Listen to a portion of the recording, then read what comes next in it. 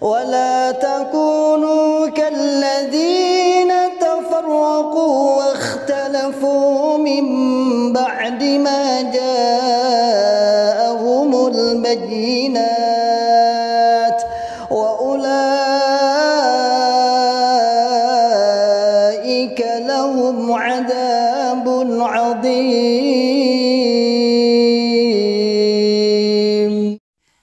Bismillahirrahmanirrahim. Alhamdulillah pembangunan PPTK Himmah Aliyah masih berjalan lancar dan saat ini masih tahap finishing serta KBM kegiatan belajar mengajar sudah berjalan dengan aktif dengan jumlah santri 36 santri yang semuanya sekelas SMA dan berbasis masyarakat gratis Monggo bagi sahabatku yang ingin menitipkan jariahnya pembangunan gedung insya Allah akan menghabiskan dana 932.550.000 rupiah.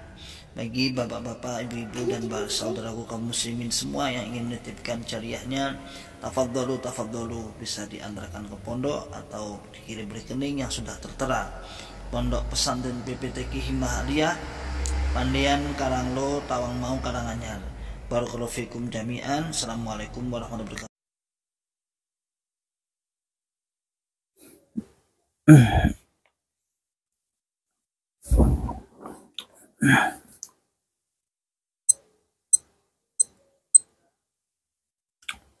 Bismillahirrahmanirrahim. Assalamualaikum warahmatullahi wabarakatuh. Alhamdulillahirabbil alamin.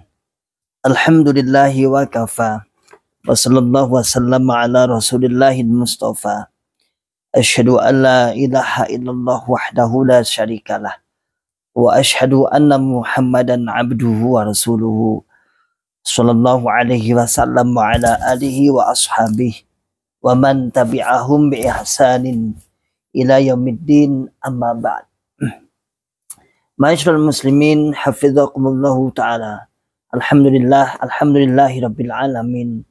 Kita ucapkan kalimat syukur kepada Allah Subhanahu wa Ta'ala yang telah memberikan kepada kita semua nikmat hidayatul Islam, nikmat hidayatul iman, nikmat sehat wal afiat, aman fi amanillah wa fi barakatillah, nikmat semangat ya'muruna bil ma'ruf wa 'anil munkar.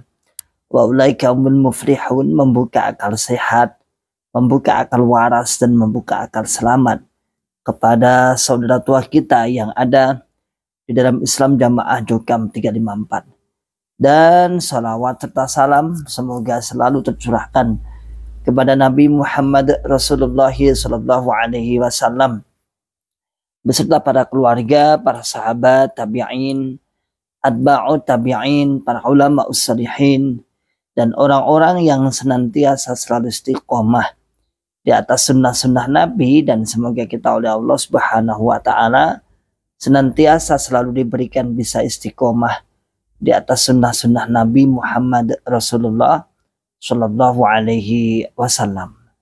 Masyaallah muslimin hafizakumullah taala alhamdulillah pada kesempatan di pagi hari ini kita bisa uh, membuka akal sehat berusaha untuk beramar ma'ruf kepada saudara tua kita yang ada di dalam Islam Jamaah Jogam 354 dari usaha kita untuk selalu mengajak membuka akal sehat, membuka akal waras mereka, membuka akal selamat mereka agar mereka selalu terbuka.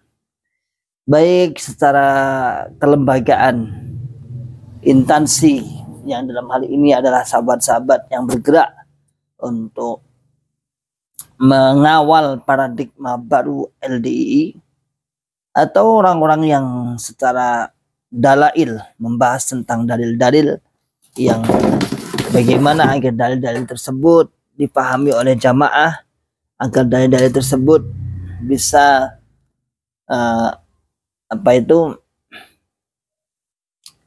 bisa dipahami oleh jamaah semuanya.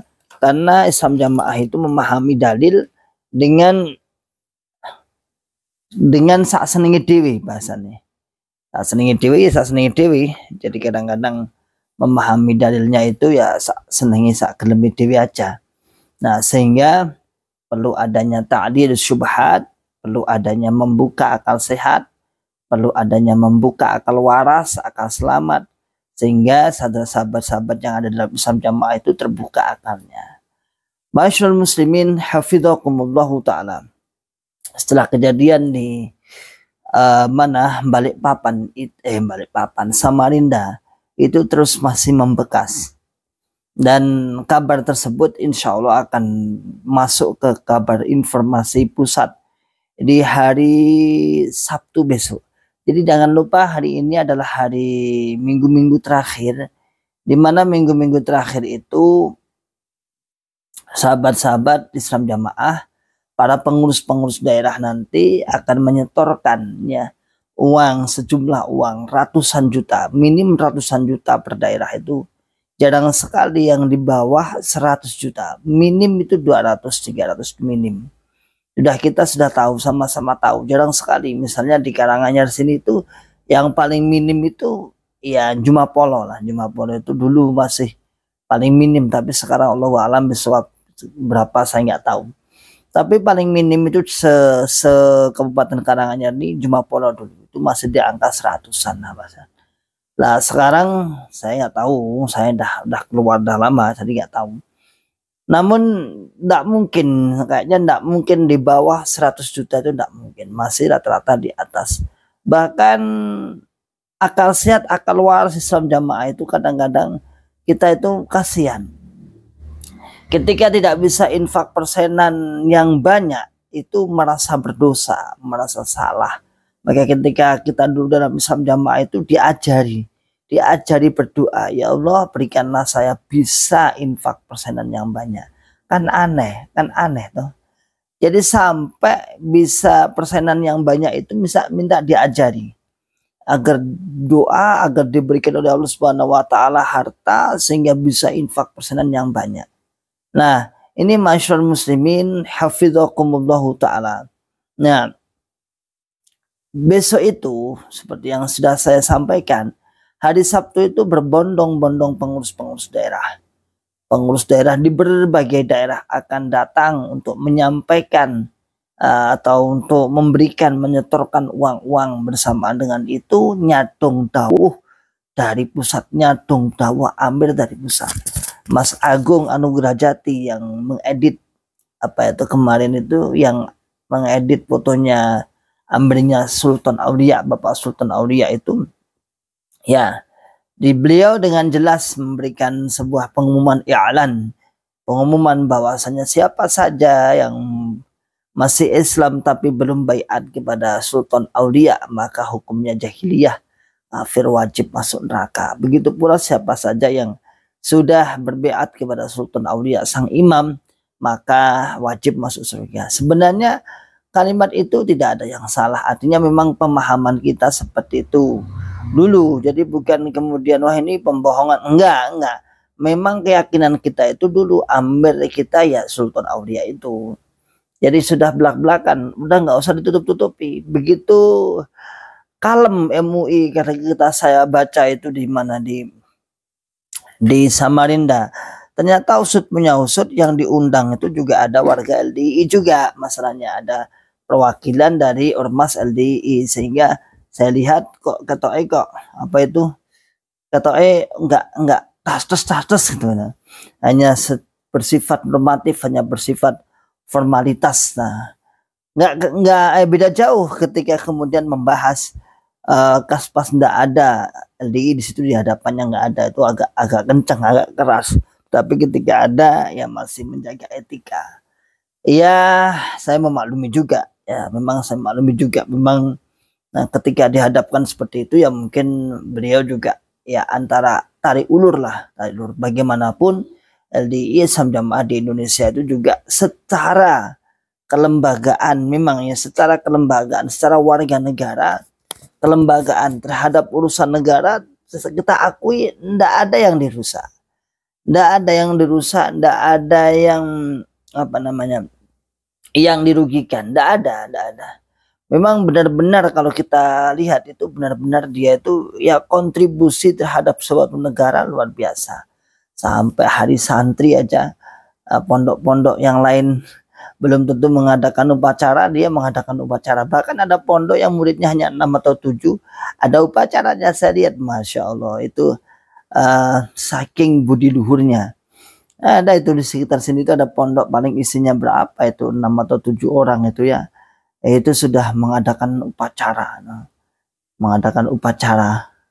Lah kalau kita lihat saudaraku semua masyarakat muslimin hafidhakumullah ta'ala itu semua hanya budi luhur semua. Artinya gini saya katakan. Jadi tindakan-tindakan seperti itu, tindakan-tindakan kaya ngono kuwi ya tak lain hanya mencari muka, dalam mencari mencari buah dan lain sebagainya. Hanya itu itu aja.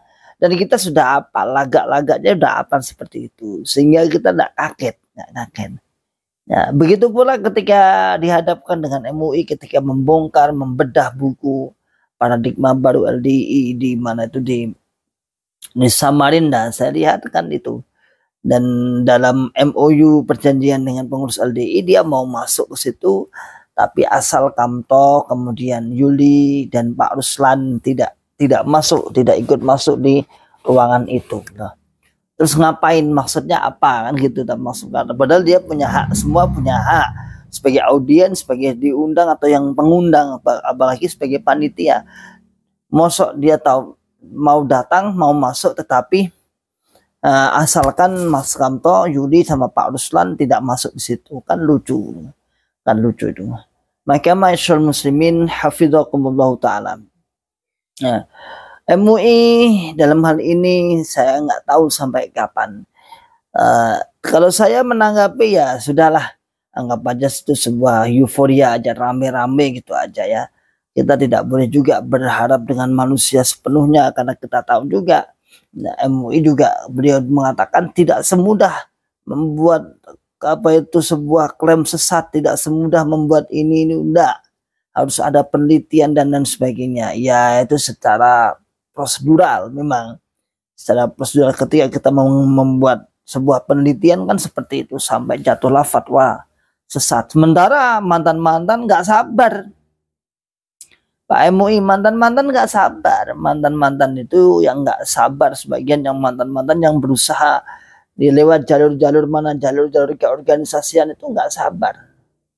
Ya kalau bagi saya sih sabar nggak sabar mau itu sudah apa bahasa kita sudah sudah menjadi kewenangan kewajiban mereka. Kalau saya sih santai Sabar gak sabar bukan target utama untuk membekukan atau membubarkan suatu organisasi. Target utama saya, saya dibagi tugas saya, itu kan tugas-tugasnya sahabat-sahabat yang di sana. Tugas saya menyadarkan, membuka akal sehat, membuka akal waras, dan membuka akal selamat sehingga mereka bisa keluar. Itu tugas saya. Sementara sahabat-sahabat yang lain, Pak Andi Kurdi, Pak Nur Faizi, Pak Farhan, Pak apa siapa itu Pak Erawan, Pak siapa pokoknya orang-orang yang di atas sana lah istilahnya. Itu memang targetnya seperti itu. Dan kita bagi tugas itu enggak apa-apa enggak apa-apa. Dan saya saya hanya membantu sahabat-sahabat. Mengap bahasanya. Ayo Pak MUI apakah cukup hanya dengan kemudian lawatan di berbagai daerah kemudian kita tunggu action? Yang diputuskan itu apa? Yang diputuskan itu apa Iya, penyampaian buku-buku yang secara normatif normatif di buka secara seremonial seremonial di berbagai daerah. Ya hasilnya ya seperti seperti itu itu juga. Sehingga warga warga Islam jamaah mengatakan kak anda itu telat katanya. Anda itu telat, kita sudah dibongkar oleh Bambang Irawan dan tidak berefek apa-apa. Kita sudah dibongkar oleh Ustadz Bambang Irawan puluhan tahun yang lalu tidak berefek apa-apa. Kan kan ngenyek banget bahasa nih nih. Ngece banget nih ya karena bapak-bapak atau mbak kiai yang ada di MUI ya secara seremonial for secara normatif secara apa bahasanya banyak secara seremonial sebenarnya membuka men, men, menggelar itu. Tapi ya gitu wong baru gitu aja sudah ber, uh, Islam Jamaah reaksinya sudah luar biasa apalagi kemudian benar-benar kemudian dibuka dijelaskan sampai detail memang nggak se sedetail mantan sih makanya saya kan perlu sering saya mengucapkan bahwasannya dalam rangka sosialisasi dalam rangka pembinaan dalam rangka membina warga Islam Jamaah di ini agar lebih mengena, agar lebih eh, penyakitnya itu agar lebih kena dan kemudian bereaksi baik kepada mereka. Insya Allah bismillah libatkanlah mantan. Saya hanya mengatakan libatkanlah mantan. Biar mantan-mantan kemudian yang memberikan eh, penjelasan-penjelasan, testimoni-testimoni, uh, dalil-dalil yang termaktub tertulis dalam buku atau ta'dilus syubhat apa kalau dalam bahasanya jarwa ta'dil apa namanya uh, penyimpangan-penyimpangan yang ada di tulis di dalam buku pembinaan pembinaan apa pembinaan LDI itu itu kalau hanya dibaca saja ya sudah ya sudah sementara kita yang tahu persis situasi-situasi apa saat bagaimana di dokumen-dokumen mana kita tahu persis itu, kita tahu persis. Nah, di hadis apa yang diambil, apa-apa saja secara nasihatnya itu apa-apa saja. Duh, kita tahu persis itu. Nah, bapak-bapak kiai-kiai yang ada di MUI kan nggak tahu, nggak pernah ngaji masalahnya, nggak pernah ngaji di sana, sehingga ya dia beliau menulis secara normatif, nah, normatif. Ayo Pak, sudah tahun berapa ini? Sudah ke tahun ke berapa? Sudah tahun berapa dengan semua yang sudah meneliti? Uh, ke, kalau kita lihat dari berawalnya misalnya sudah lama ya, sudah Imam Nasai itu tahun berapa sama Pak Mauludin itu sama Mas Adam Amrullah. Terus gagal lagi, cari bukti lagi, gagal lagi, cari bukti lagi, gagal lagi. Awal-awal tahun 2020, 2021 saya senang sekali itu. Kita diarahkan untuk zoom bersama-sama mereka. Wah saat kita kira walah dua bulan tiga bulan cool. Dua bulan tiga bulan sudah masukkan dari beberapa ratusan mantan. Mantan memberikan ratusan ratusan mantan memberikan testimoni masukan masukan kepada mereka. Eh walhasil Qadarullah tidak tidak tidak semudah itu ternyata ya. Tak segampang kui ternyata. Ternyata harus berpelit-pelit. Harus lama bukti-bukti harus validasi bukti kejadian di mana dan dan sebagainya. Nah itu. Maka saudaraku semua masyal muslimin hafizakumullah taala. Jadi kalau saya sih ya bukan kok ikan sepat ikan bagus eh, ikan gabus enggak enggak enggak seperti itu juga tetapi sudah terlalu lama gitulah sudah terlalu lama ini bukan cepat-cepatan bukan, tapi memang sudah terlalu lama sampai kita sendiri yang berakibat itu kita kepada eh, kepada kepada mantan yang mendapat akibat itu mantan bukan MUI. Kalau MUI ya tugasnya kan bukan hanya itu aja. Beliau sudah mengatakan tugas kami bukan ini saja. Banyak aliran-aliran sesat yang kita tangani dalam masukan-masukan aliran sesat kita tangani itu banyak sekali. Iya memang gitu itu sebagai tugas Bapak sebagai tugas pro KK di MUI. Namun kita itu lebih lama, lebih lama. Huruf Mama Rufron langsung selesai. Siapa itu yang di Al Zaitun itu? Nah, Panji Gumilang selesai. Nggak sampai menunggu tahun-tahunan. Nggak sampai menunggu tahun-tahunan. Hanya hanya berapa bulan gitu aja sudah selesai. Sementara Islam jamaah ini berapa tahun? Hampir 4 tahun sampai 5 tahun. Artinya semenjak digoyang rame-rame itu ya. Kalau sebelumnya sudah. Sebelumnya sudah saya yakin Mas Imam Nasai, Pak Mauludin, Mas Abdullah Amrullah itu sudah mendekat merapat ke sana. Tetapi yang paling euforia yang paling ramai kan 4-3 tahun terakhir ini. Tapi udah lama itu 4-3 tahun. Sudah laporan sudah ada. Tertulis ada. Bukti ada mantan ada, korban ada, mantannya pengikut dan menjadi saat ini menjadi korban mantannya pendoktrin saat ini menjadi korban banyak sekali bukan hanya puluhan saudara sama ratusan lebih ratusan lebih namun tidak bisa membuat bergeming kepada uh, sahabat-sahabat atau para kiai-kiai yang ada dalam MUI Allah alam bisawab bahkan banyak juga yang dis komunikasi gitu. Miskomunikasi, diskomunikasi, miskomunikasi antara instruksi pusat sampai daerah itu berbeda. Misal nih, misal ada banyak instruksi yang kemudian mengatakan banyak uh, tidak boleh warga-warga LDI dimasukkan dalam kepengurusan MUI misalnya. Nggak boleh. Nah, karena dalam masih dalam pembinaan. Loh, gitu saudaraku semua. Jelas perintahnya dari pusat seperti itu. Tapi kita lihat di provinsi, di kabupaten masih banyak. Karanganyar ini 11 per 12 masih. Kabupaten Karanganyar ini loh. Sudah diangkat di atas 8 apa 10 lebih pengurus MUI. Nah, di provinsi dengar-dengar ada guru besarnya, ketua DPW-nya itu kayaknya juga masuk juga dalam kepengurusan MUI. Sementara instruksi pusat jelas. Instruksi pusat tidak boleh, berarti kan tidak bisa ditaati sepenuhnya. Berarti masih ada kontroversi di dalam. Loh saya itu ketemu dengan ketua MU-nya langsung. MUI Kabupaten. Saya pura-pura tanya pura-pura tanya menyembah Badar. Ini pripun mbah niki? Iki instruksi ke pusat niki pripun? Kok niki karangannya direalisasikan dereng? Beliau katanya ah suki angel mas. Artinya aduh itu sulit itu. Kita sudah kadung baik. Kita sudah kadung baik. Gimana lagi kita sudah kadung baik? Terus kadung api awak dhewe dalin hubungan api sungkan Nah terus bagaimana ini Mbah untuk ke depannya ya sudah seperti ini aja. Kecuali kalau ada fatwa sesat dari atasan sana, jelas fatwa sesat maka kita bisa ada alasan. Tapi ini untuk aku gak wani. Aku gak wani. Bahkan sebaran-sebaran yang berupa instruksi MUI yang liar kemudian ke mana-mana kemudian disampaikan sahabat-sahabat saya tidak sedikit malah sahabat saya dituduh fitnah dituduh hoax. Tidak sedikit alias banyak teman-teman saya, teman-teman hijrah kami kemudian dituduh hoax. Dianggap menyebar fitnah, mau, mau dituntut, awas bener tak tuntut kamu. No. Gimana coba?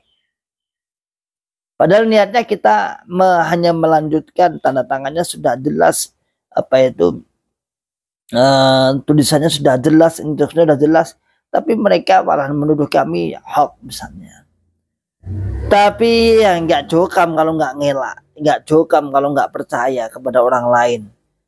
Hanya percaya kepada golongannya saja. Wong atas sih buku yang tersusun rapi seperti itu, buku yang sudah tersusun rapi, yang bagus seperti itu, itu aja masih tidak dipercaya bahkan dituduh bahwa kita kita lah yang membuat para JRK JRK itu yang membuat Jerika jerika kuwi sing gawe bahasane. Oh, jerika jerika kuwi sing gawe, sing gawe buku-buku itu. Ya. Makanya kadang ya Allah, ya Allah gimana sih ya? Gimana sih wong kita itu sudah berusaha, kita sudah tunjukkan iki sing gawe MUI, alah kuwi pot sing gawe kolil CS kuwi. Itu untuk danane untuk percetakan kemudian untuk apa namanya? Ada yang mengatakan karena dia nggak punya kitab akhirnya yang buat kitab itu seperti itu biar laris. Biar laris.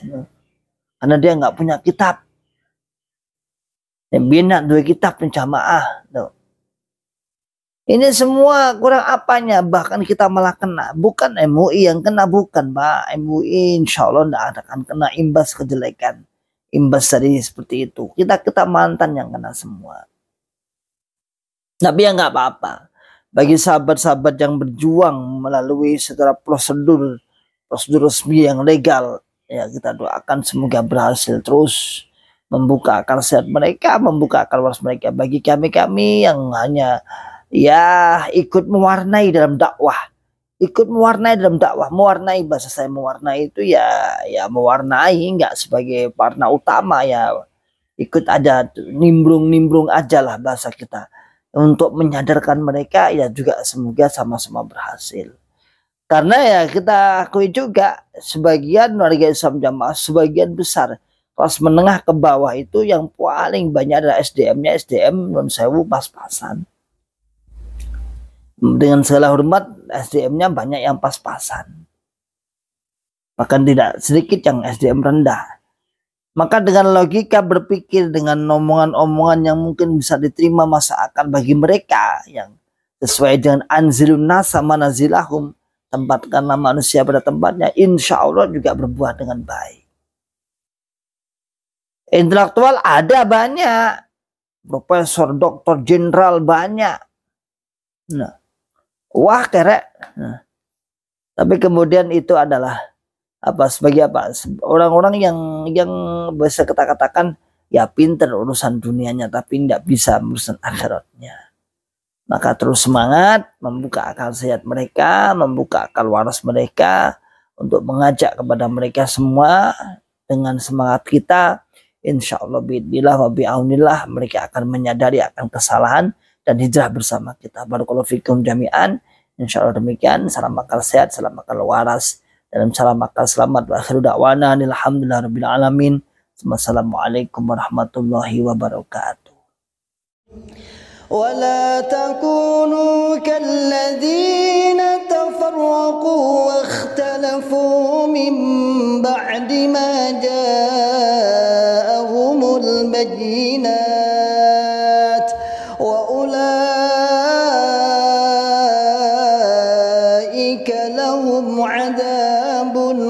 عظيم